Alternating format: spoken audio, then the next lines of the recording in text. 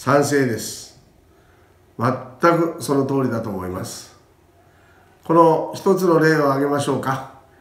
えー、宮古島がグスクベ上野下地平良伊良部とありましたが合併しましたが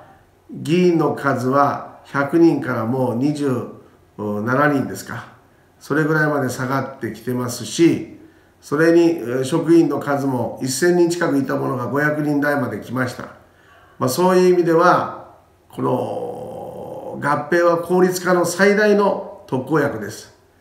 平成の合併で1兆8000億円予算が起きましたからまだまだ合併して小さい、え、政府を作る小さい役所を作るっていうのは大事だと思います。